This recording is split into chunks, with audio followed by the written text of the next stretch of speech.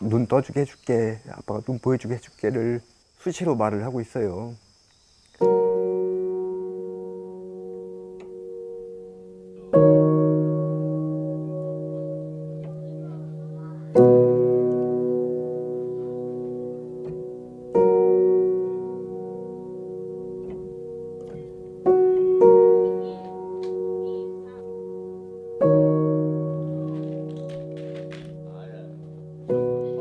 이제 모든 게 완전 무너지더라고요 제가 애기 엄마하고 그냥 펑펑 울었어요 그냥 펑펑 그 뇌로 전이 되면은 치료에서 거의 생존할 수가 없어요. 거의 0%에 가깝거든요. 그렇기 때문에 음, 그럴 때는 마음을 굳게 먹고 적출을 할 때는